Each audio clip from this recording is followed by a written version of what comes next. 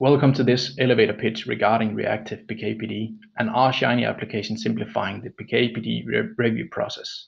My name is Christopher, and I've made this app in collaboration with my colleague, Stefan Falkgren. We both work at Novo Nordisk. First of all, a disclaimer. Views and opinions expressed are those of the speaker and not necessarily Novo Nordisk. So what is the idea behind this app? Well, for clinical pharmacology trials, PK and PD data is reviewed due to the limitations related to the Uh, procedures used to assess PK and PD. Previously, a review was conducted by first creating a document containing the plots of the individual PK and PD profiles. Each reviewer then received a copy in which they wrote their own comments. After that, a review meeting was held to share and evaluate comments, and from there, some meeting minutes were created manually. The decision mentioned in these meeting minutes were then implemented in data. So this was a quite tedious process, which we have tried to simplify. So how does it work? These slides explain how a review is conducted uh, in the application. So First of all, the host of the review uploads some data to the tool, and then reactive PK/PD uh, automatically generates the figures of the individual PKPD profiles. Then. The review can start, and the reviewer can add the comments to the figures.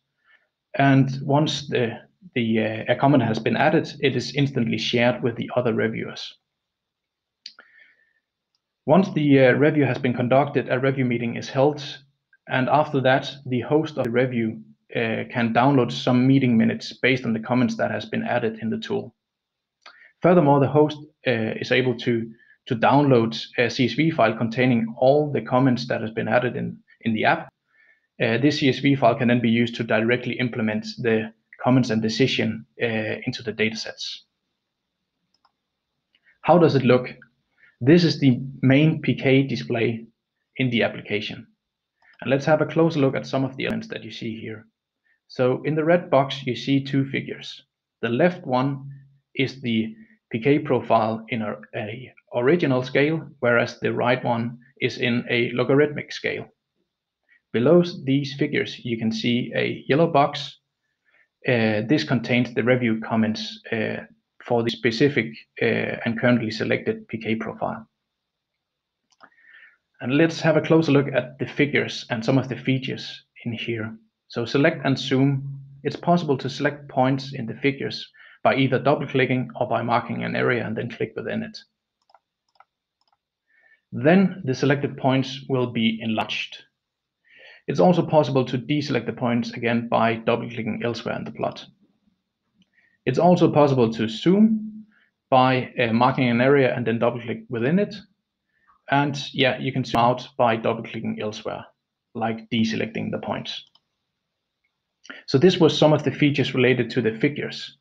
Let's go back to the main PK display and have a look at some of the features that you see in the green box to the left. Here I've highlighted the three features here. The first one is the select profile, which is a drop-down menu used to indicate the currently selected profile, but also to swap between uh, individual profiles.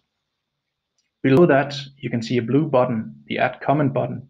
Once this is pressed, um, a window will show up, and the reviewer can fill in their comments uh, related either to data points or the whole profiles itself. And once the reviewer has uh, finished the review of the specific profile, they can press this Profile Review button, green button, and by pressing this, they'll be uh, taken directly to the next profile in line, and furthermore, the app will keep track of their review progress. So these uh, are the main three features that the reviewers would focus on when they conduct a review in the tool. So it is uh, a lot of uh, the procedures related to the uh, PK and PD review process. That was all I had. So thank you for your attention, and you can find more on the GitHub link below.